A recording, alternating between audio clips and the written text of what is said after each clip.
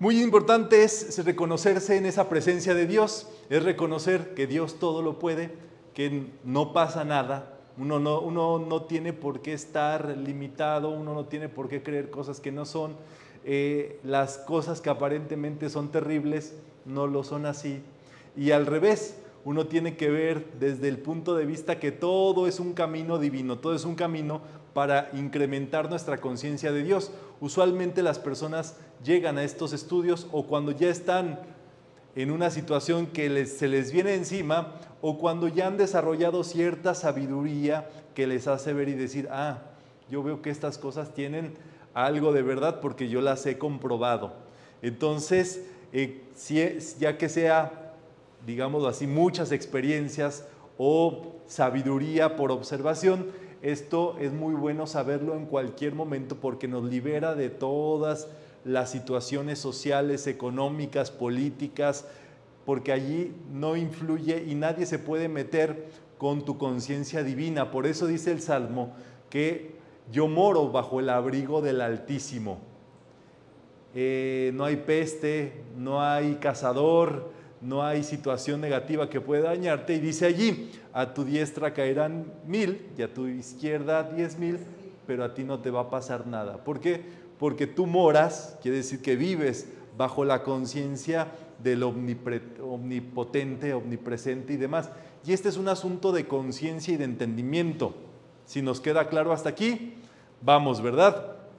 Ahora vamos a ver la omnipresencia de Dios. Dios en todas partes. No hay lugar donde Dios no llegue. Es el, esa es la gran situación de nuestra vida. Él lo abarca todo absolutamente y está de aquí desde Tampiquito Beach hasta Los Ángeles Beach y en todas las beach del mundo, ¿verdad? Esa es la actividad que llamamos omnipresencia. Entonces junta las dos, junta la bondad y la voluntad de Dios que quiere para tu vida y ahora reconoce la omnipresencia en todas partes. O sea, si Dios es bondad y ahora pon esa bondad en todo sitio. No hay puerta que no abra, no hay situación que sea lo bastante eh, pesada y uno no tendría por qué estarse peleando, conflictuando, sino haciendo el reconocimiento de esa presencia. Y es allí donde tú puedes orar por las personas o por toda situación que te enteres ya sea en las noticias, ya sea de un familiar, ya sea eh, en cualquier sitio, hay que estar atentos con el reconocimiento de estos principios divinos. Entonces, las escrituras tienen este texto que dice, tuyo es el reino, el poder y la gloria por siempre, Señor. Dice Emmett Fox que esta es la verdad esencial, que Dios tiene todo el poder, Dios le pertenece todo, o sea, Él reina sobre todas las cosas y la gloria, o sea que todo actúa bajo su mando. Y eso es para, si en algún momento nosotros decimos, ay, ¿cómo es que me voy a curar con metafísica? ¿O cómo es que Dios me puede sanar? ¿O cómo es que yo puedo prosperar mi negocio con Dios? Si hay alguna limitación de eso, este es el decreto para romper con eso. Tuyo es el reino, tuyo el poder y tuyo la gloria. A ti te pertenece todo, a ti te lo entrego todo y yo sé que estás en todo y te quitas toda la limitación mental que pueda haber respecto a un asunto.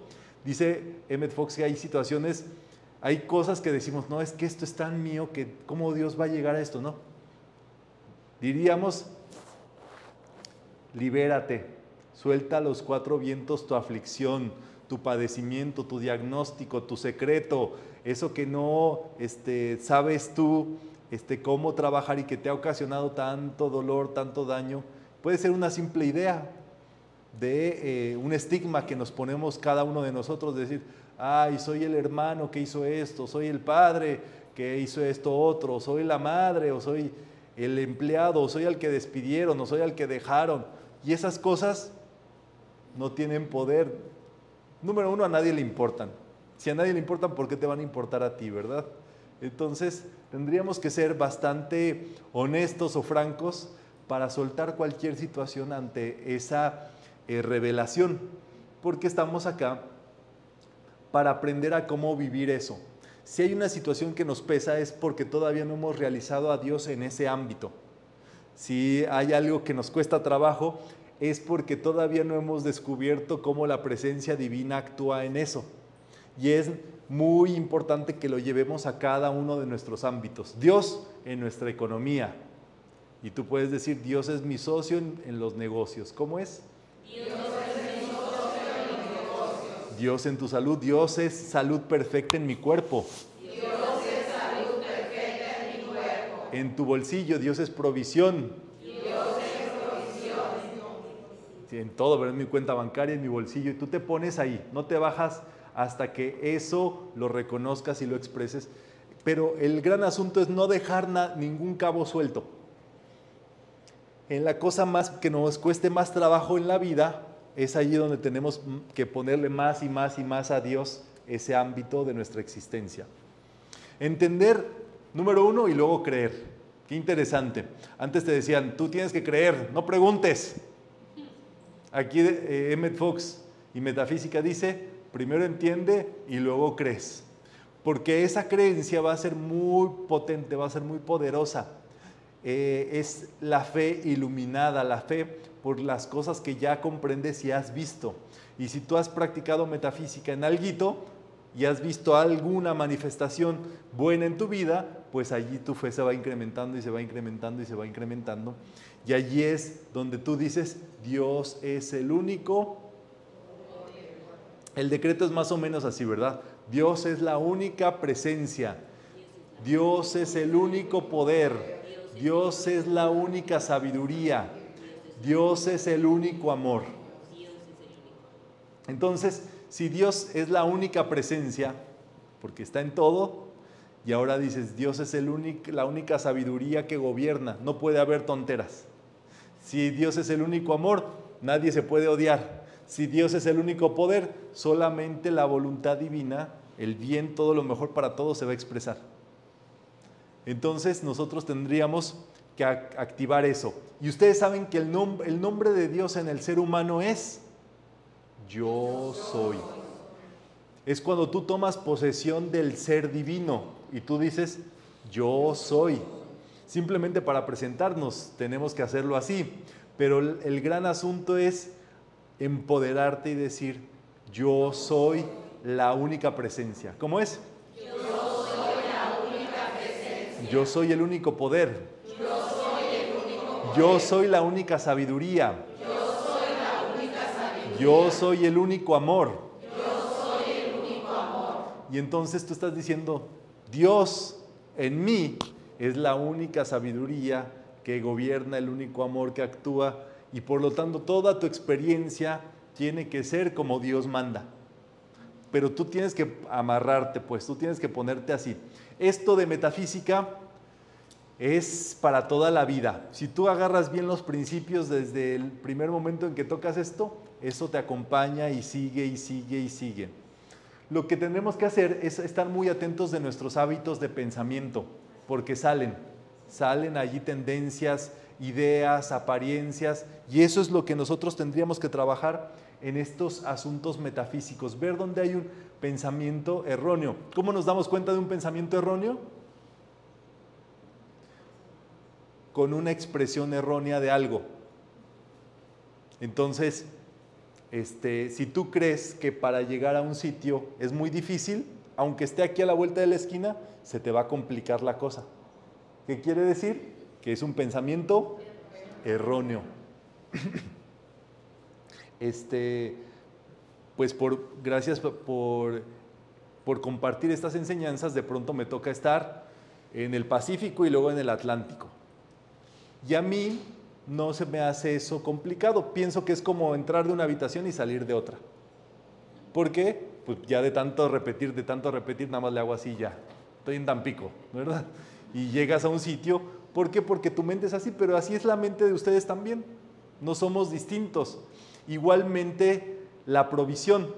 Si tú ocupas provisión, te, man, te pones del ladito de la provisión y ahí entras a ese campo, digámoslo así, de acción, de pensamiento, de sentimiento, te envuelves y, nada tiene por qué ser luchón, complicadongo, eh, peleón. No tienes que estar conflictuado en ninguno de tus áreas de vida. Ese es el gran asunto. Esa es la muestra de que hay un pensamiento erróneo.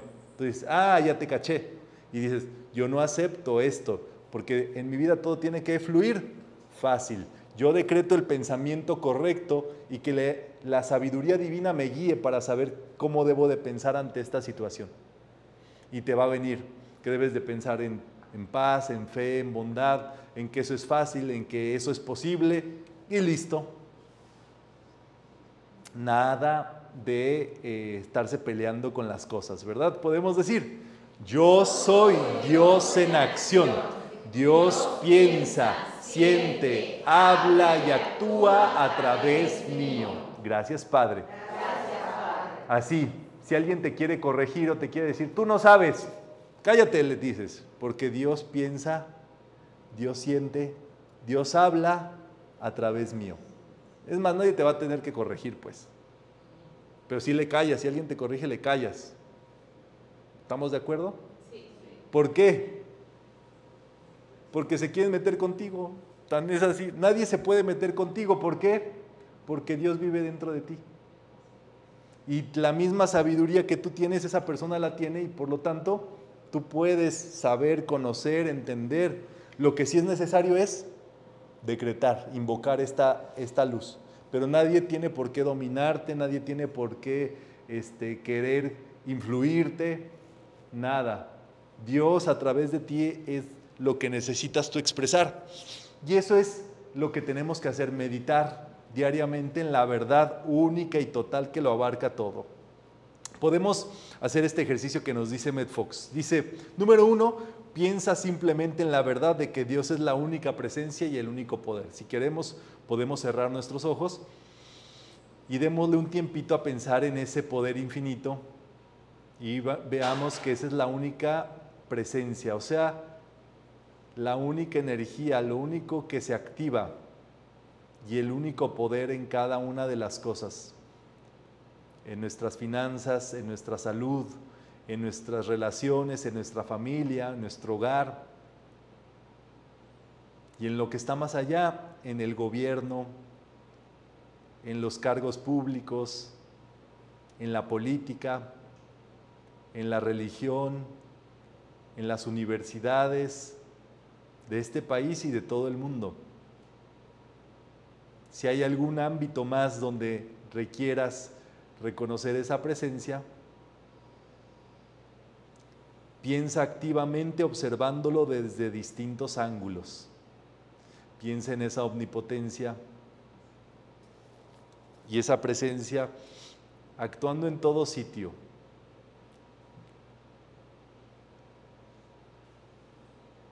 En aquello que ignoramos, piensa que Dios es sabiduría, Dios es iluminación.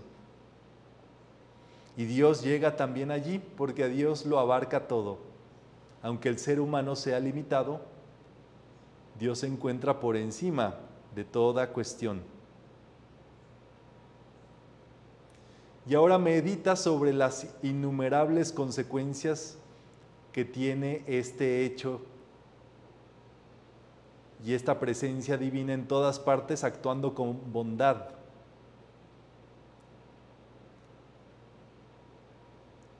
Ante el pesar,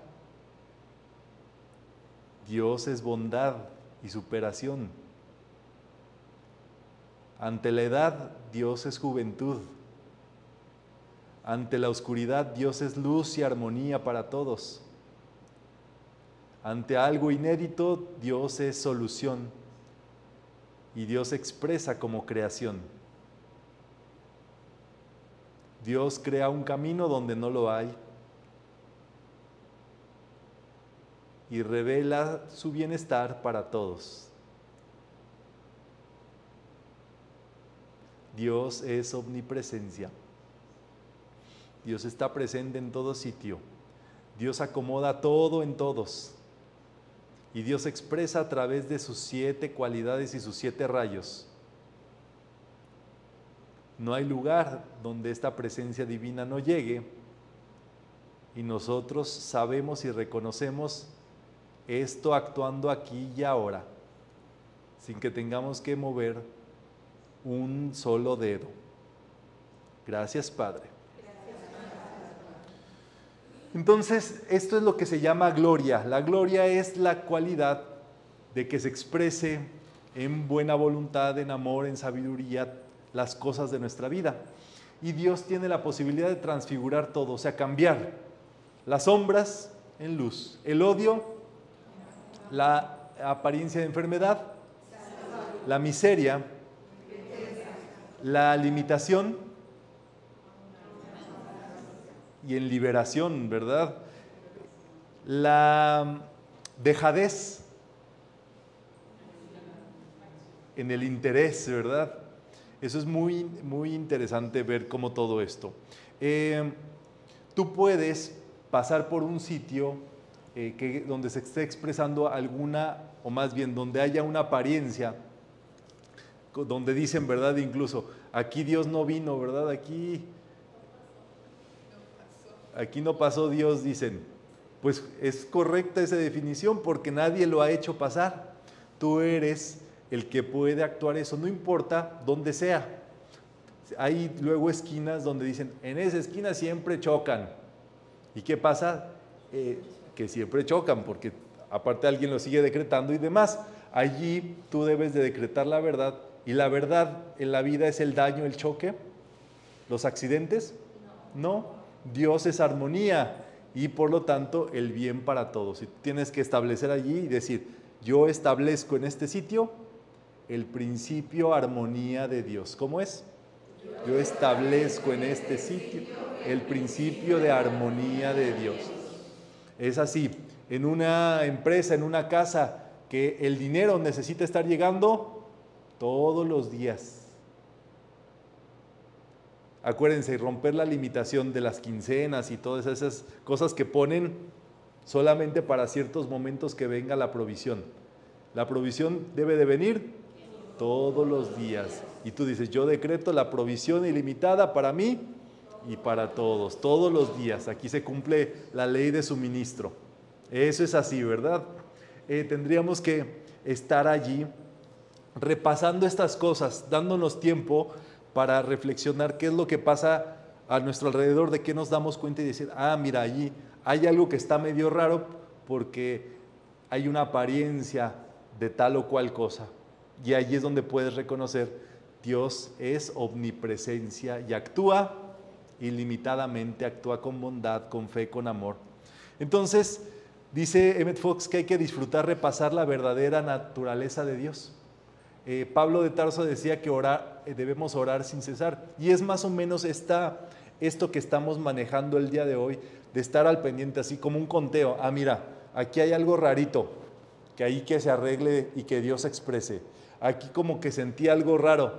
Nada, que aquí se exprese la protección, la seguridad para todos. Este, luego ves a personas medio raras en la calle. No importa, tú decrétales que Dios expresa como protección, como libertad y que pone a esa persona en el lugar que le corresponde. Uno no debe tener miedo de nada, uno no debe de, de quedarse impávido, uno debe de actuar y reconocer a Dios en todos siempre con buena voluntad, con amor y demás, pero eso es así, es consistente todo este asunto. Entonces, hasta que tengamos una comprensión clara y veamos que las condiciones exteriores mejoran. Eso es así. Una sola vez un decreto bastaría para que funcione, pero si hay algo que todavía te dice que requieres ponerle un poquito más, entonces te haces un diagnóstico y puedes decir, mira, este decreto lo voy a hacer todos los días por la mañana, los próximos, esta semana. Y te pones tu agenda, tu despertador o lo que quieras para hacer tu decreto como si fuera tomarte la pastilla. Eh, de acuerdo a la urgencia o a la necesidad, puedes hacerlo. Lo máximo recomendable sería tres semanas seguidas, tres veces al día. Esa sería la dosis máxima, máxima, máxima. O sea, 7 por 3, 21. Este, por 3, 63, ¿verdad? 63 decretos, pero en algún momento los tienes que soltar. ¿Vamos bien hasta acá? Porque cuando tú sueltas el decreto, se lo entregas a la presencia divina. Lo que tú agarraste es reeducar tu pensamiento, poner el pensamiento correcto ante esa situación. Y es hablado, ¿ok? Eso es muy importante. es decretado exactamente. Entonces, ¿dudas hasta aquí?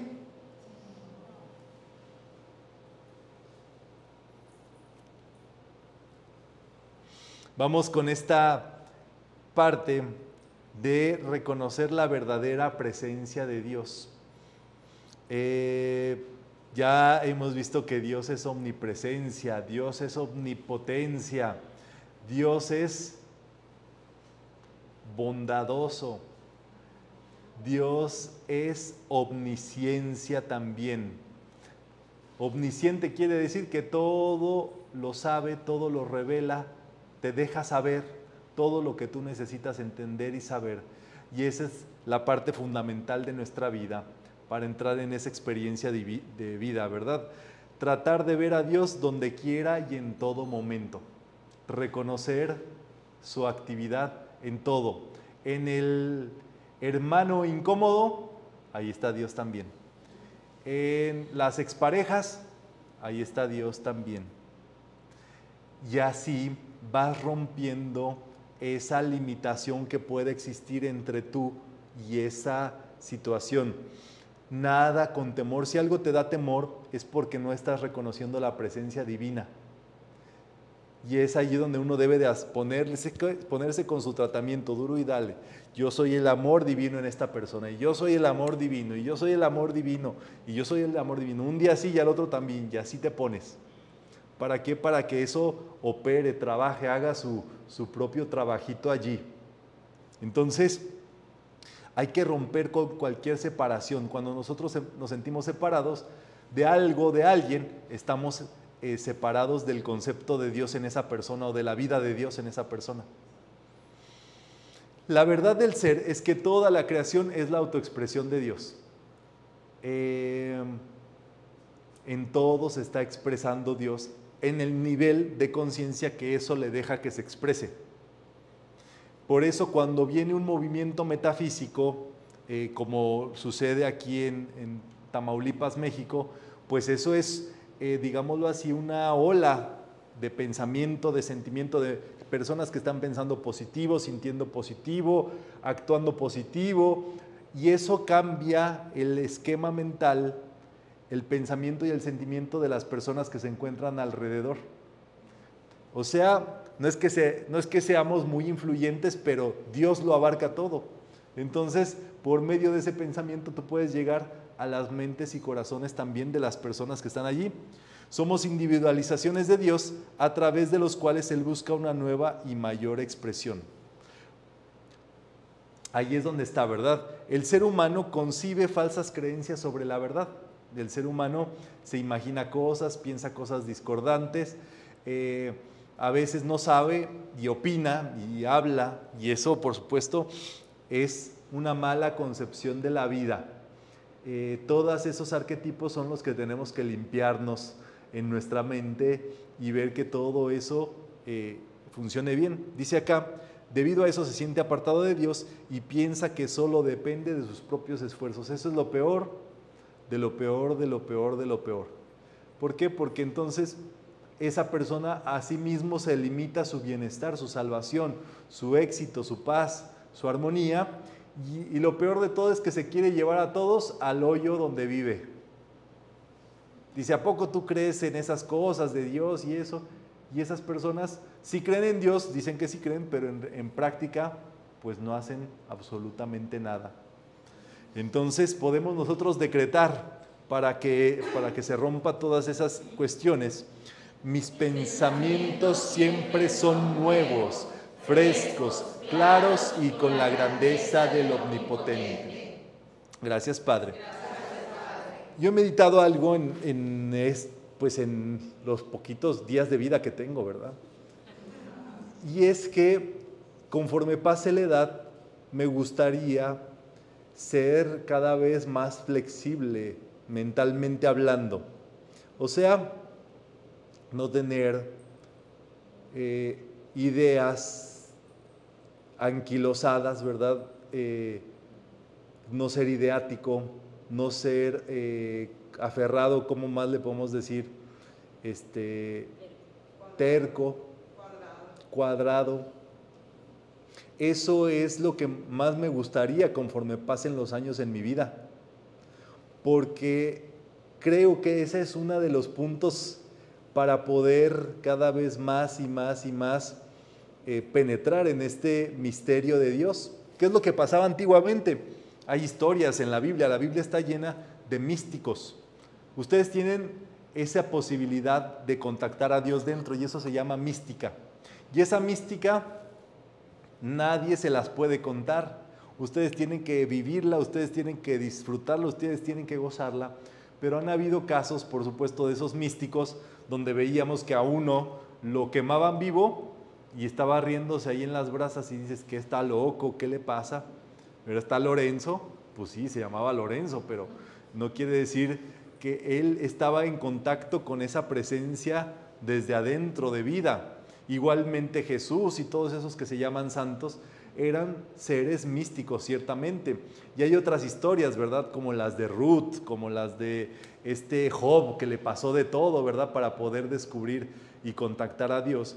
Pero el gran asunto es cómo nosotros con esta mística vamos evolucionando y contactando más y más y más y más a Dios dentro de nosotros. De eso es de lo que nosotros tendríamos que estar al pendientes. Nos han dicho, ¿verdad? Nacer, crecer, reproducirte y morir y ya, ahí se acaba todo el show. No, viene una posibilidad de vida extraordinaria de poder ver cómo Dios actúa con todas estas cosas. No sé si a ustedes les guste ver las series de Netflix, las películas de ciencia ficción, de Jean-Claude Van Damme, de Chuck Norris, de Bruce Lee, de ahora de los superhéroes, o no sé qué películas vean. ¿Quién me dice una? Ay, no, tú saliste muy, muy tremenda. Pero sí, ¿verdad? Son héroes, ¿verdad? Para ciertos momentos. Pero el gran asunto es que tú dentro de ti tienes esa posibilidad de hacer este contacto místico con tu presencia divina y solucionar todos esos asuntos. ¿No les gustaría ver a Dios expresándose cada vez más? Esa es la serie que todavía no se ha escrito en Netflix. Y tu serie va a ser mejor que la de María Magdalena, que eso ya es palabras decir, ¿verdad? ¿Por qué? Porque nosotros estamos aquí para expresar esa cosa superior. Ese es el gran asunto de nuestra vida y esa es la vida crística. Por eso el decreto es así, ¿verdad? En nuestro trabajo, en nuestros empeños, en nuestra colaboración con otros seres humanos, nosotros podemos reconocer que Dios está siempre trabajando a través de nosotros que si no sabemos qué hacer, le pidamos a Dios sabiduría. Siempre hay que estar decretando cosas, siempre, siempre, siempre. El metafísico todos los días hace cuatro cosas. Estudia, lee un párrafo o escucha una enseñanza o viene a sus charlas y es el día de la charla y eso es estudio. Medita. ¿En qué? Ya vimos una meditación en la omnipresencia, reconocer a Dios en todas las cosas todos los días decreta, que es justamente tus decretos de protección, de salud, de amor, de prosperidad. Todos los días es importante decretar eh, lo que sea inminente o simplemente aprovechar para eh, reconocer a tu presencia divina. Dice Med Fox, disfrútate tu tiempo con Dios. Utiliza un tiempito que tengas en donde te guste, ¿verdad? Hay gente que le gusta en la ducha, en el baño, en su recámara, acostado, sentado, no importa. Aprovecha ese tiempo y hace, hazle una visita a Dios. Y el cuarto punto es la oración científica. La oración científica es esta forma de trabajar con tratamientos, lo que tú ocupas y eh, ponerse con eso diligentemente, ¿verdad? A lo que tú quieres expresar, lo que quieres que se manifieste en tu vida. Y eso es así siempre hay que saber qué pedir. Y cuando no sepas qué pedir, decreta sabiduría para que se te revele qué debes de pedir. Muy importante. Cuando no sepas qué pedir, pide sabiduría. Porque hay gente que dice, no, mira, yo no necesito nada más. Y luego la nueva serie de Netflix tiene que venir a través de algo, pues tiene que venir a través de tu vida, a través de tu vivencia.